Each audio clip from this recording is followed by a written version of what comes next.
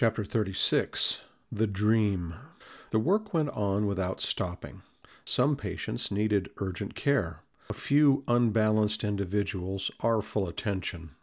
By evening, I had fully learned the technique of magnetic passes, which I applied to the patients who were in need of them. In the morning, Tobias returned to the chambers, and, more out of kindness than for any other reason, he encouraged me with words of praise. Very well done, Andre, he exclaimed with satisfaction. I'm going to mention you specifically to Minister Genesio so that you can receive double hour bonuses for your first time on the job. I was about to say how grateful I was when Laura and Lysias arrived and embraced me. We are very pleased, the benevolent woman said with a smile. I followed you in spirit throughout the night, and your first time at work brought great joy to our domestic circle.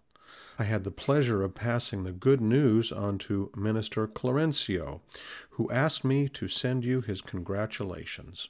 They exchanged pleasantries with Tobias and Narcissa, and then asked me about my impressions. I was all too happy to oblige. My greatest joy, however, was still to come. Besides Laura's kind invitation to return home with them to rest, Tobias also offered me a resting room beside the chambers of rectification, to which he advised me to retire without delay. In fact, I felt an urgent need to sleep. Narcissa made me a bed with the love of a sister. Alone in the spacious and comfortable room, I prayed to the Lord of life, thanking him for the blessing of having been useful. The blessed fatigue of those who have fulfilled their duties left me no time for further musings. Within a few moments, a sensation of lightness filled my whole soul, and I had the impression of being carried away in a small boat toward regions unknown. Where was I being taken? It was impossible to tell. A man sat silent beside me at the helm. I felt like a child, unable either to count or to describe the wonders along the way. I let myself be carried along without a word, amazed at the magnificence of the landscape. The little craft seemed to be sailing rapidly, even though it appeared to be ascending. After a few minutes, I was in a marvelous harbor, and somebody was calling to me in a familiar voice. Andre, Andre! I hastily got out of the boat like a child. I could tell that voice from a thousand others. A moment later, I was overwhelmed with joy in my mother's arms. She led me to a wonderful wooded area where the flowers had a remarkable gift. They could retain light, offering a permanent feast of fragrance and color. Luminous golden tapestries stretched out under the rustling foliage of the great trees. My feeling of happiness and peace were ineffable. The dream was somehow different from those I had experienced on earth, I was perfectly aware that I had left my denser body in the resting room beside the chambers of rectification in Nosso Lar, and was completely aware that I was moving in a different sphere. My notions of time and space were accurate. The wealth of emotions that I was experiencing was growing more and more intense. My mother spoke a few words of sacred spiritual encouragement and then explained kindly I prayed to Jesus that I might be granted the sublime satisfaction of having you by my side after your first day of useful service. As you can see by now, my son, work is a divine tonic for the heart. When many spirits leave the earth, they linger unproductively and wait for miracles that never occur. Thus, their great potential is reduced to displays of parasitism. Some offer the excuse that they are discouraged because they are lonely. Others state that they cannot adjust to the environment in which they were called to serve the Lord.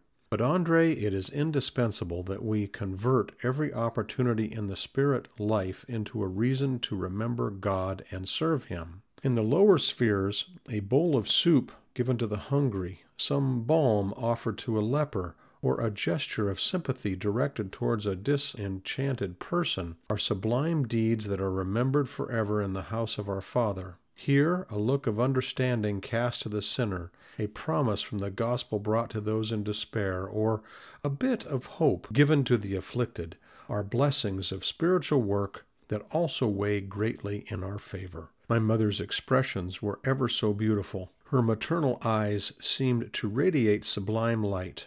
Her hands in tender gestures transmitted invigorating fluids and gentle emotions to me. The gospel of Jesus, my dear Andre, she continued kindly, reminds us that there is greater joy in giving than in receiving. Let us learn how to put such a principle into practice in the daily efforts necessary for our own happiness. Always give, my son. Above all, never forget to give of yourself in constructive tolerance, fraternal love, and divine understanding. The outward practice of goodness is a lesson and an appeal, enabling us to experience inward goodness. Jesus gave more of himself to the improvement of humankind than all the noble charitable donations by all the millionaires on earth put together. Don't be ashamed to help the ulcerated patients or to clear the minds of the mental cases that enter the chambers of rectification, where, by the way, I followed your work last night in spirit. Work, my son. In all our spirit colonies, as on the spheres of the planet, there is an overabundance of restless souls, anxious for novelty and distraction. But forget about entertainment and look for useful service instead. I am very insignificant, but can nevertheless watch you in spirit as you work in Nosso Lar, and I can follow the sufferings of your father in the regions of the umbral. Likewise, God sees and accompanies us all, from the most enlightened ambassador of His goodness to the lowest beings on the scale of creation, lower than the worms of earth. She made a short pause, and I wanted to take the opportunity to say something, but couldn't. Tears of emotion kept me from speaking. She looked at me tenderly, understanding my situation. Then she continued, Here, as in the majority of spirit colonies, Payment for work is done with our bonuses. Such payment unites two essential factors. The bonus represents the possibility of receiving something from our brothers and sisters in struggle, or of giving something to someone who takes part in our accomplishments. But the criteria for determining the value of the hour bonus belongs exclusively to God. Like on earth, in awarding hour bonuses, there can be many mistakes due to our fallible personality and our nature as evolved creatures. However, as for the spiritual content of the hour bonus, there is a direct connection between the worker and the divine forces of creation. That's why our experimental activities during our progressive march up from the physical sphere undergo continuous modifications every day.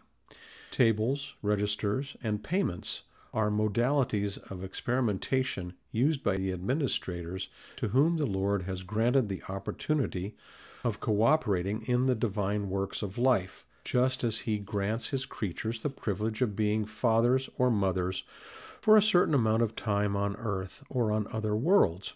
Sincere administrators all do their utmost to carry out the duties assigned to them. Every conscious father is full of devoted love. God also is an attentive administrator and an extremely devoted father. He forgets no one and reserves his right to make an agreement with his workers concerning the true use of their work time. All outward payment affects the personality undergoing the experience. But the entire value of time is important to the eternal personality, the one that will always remain in our circles of life on its way towards the glory of God. This is why the Most High gives wisdom to those who spend their time learning, and more life and joy to those who know how to deny themselves. My mother stopped talking while I dried my eyes. Then she took me in her arms and fondly stroked my face. Like a boy who falls asleep after a lesson, I lost consciousness and awoke later in the chambers of rectification, experiencing an invigorating feeling of joy.